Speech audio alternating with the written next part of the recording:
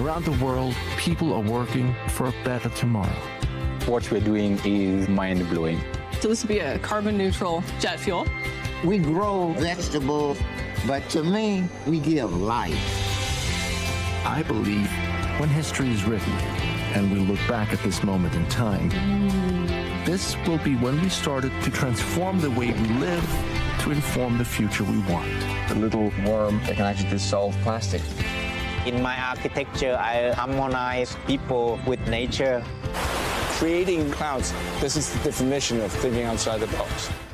That was just part of the trailer from the upcoming Bloomberg original series titled An Optimist's Guide to the Planet. The six episode docu-series follows Emmy-nominated actor Nikolaj Coster-Waldau as he and his team travel the globe to meet the solutions-oriented people facing down humanity's most pressing environmental challenges. And Nikolaj joins us now. He also serves as a producer on the series.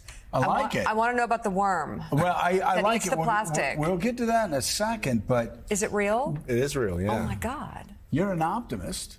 That's good. We Yeah. like optimists. That said, in in the first episode, you go to Greenland. Yeah. And you talk about how about two, That's where his wife is from. right. So- Yeah. About two thousand what square miles of of the ice cap has Mm-hmm. retreated since 1985.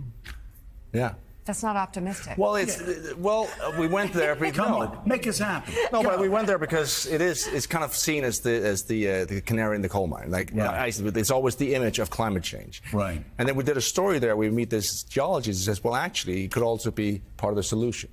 Because what happens every year, it's been happening for thousands of years, is that uh, all this glacier flour is is washed out. So we have like billions and billions of tons of this thing. It turns out it can store CO2 and also it's an incredible fertilizer. And you can then take that to parts of the world where they don't have where they have uh, bad soil. And it, it's it was just so you can actually turn Greenland into a symbol of of the solu- uh, of the solution. But what we found was was that th- it's a global show. We travel all over the world. And the reason I wanted to do it, I'd, I'd, I'd worked with the, as a Goodwill ambassador for the UNDP. I've been going around the world to see these projects. And I also found that the messaging becomes very much about the problem.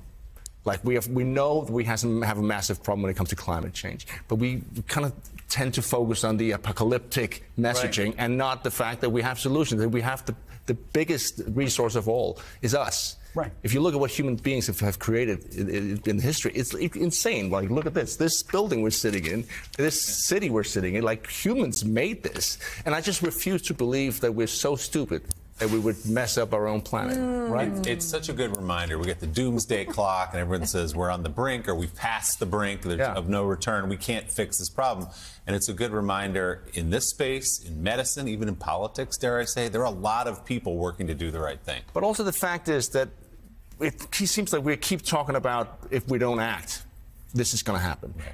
What we found out is that people are acting, Right. and it's happening all over, and it's a massive transition is already happening. Like I remember six years ago, I was in San Francisco at this event, and the final thing I had to do was to drive an electric car around the corner, and that was a big thing. Today, it- I'm from Europe, in Northern Europe. It's the most sold cars are electric. It's happening on a global scale, and uh, it's and, and that thing you said about the sometimes we it's not just about high tech. It's also about looking back. Yeah. And seeing actually we had some solutions before that worked. We just have to reinvent them, or look at nature's you know offering us solutions. You saw the the, The worms. The worms. That was a biochemist in in Spain. Yeah. And she had as a hobby, she was a beekeeper. One day she had to clean up the, the, the, the, the beehives and she found there were worms in there. She put them in a plastic bag. Next day she comes back, she sees those little holes and she goes, that's interesting. I wonder what that is. Did they just bite them their way out or did, was something else afoot? Turns out there was an enzyme in the saliva of these, these uh, Worms. worms. that dissolve plastic.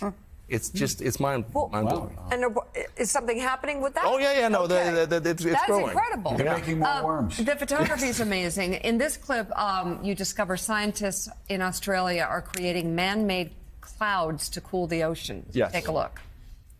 There's two whole shipping containers with big air compressors in them to generate the compressed air to blast the plume.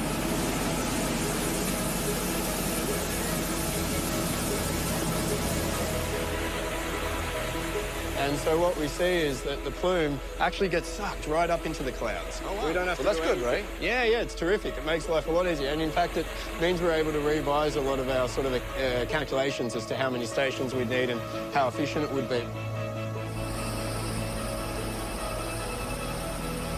Per second, one of those machines, we've got two now, but for one, it produces about a thousand billion droplets a second from about a shot glass of water a second, 30 mils.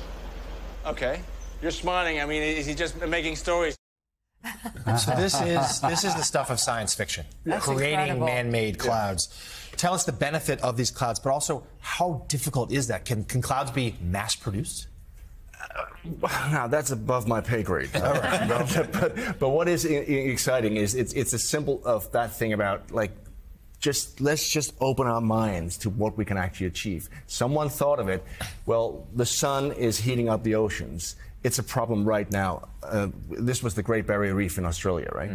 How can we just give them a band-aid for like until we solve the other big issues and say, well, let's make some clouds. And then these guys came up with it, and it actually works. They lower the temperature of the oceans. They basically just put a cloud over.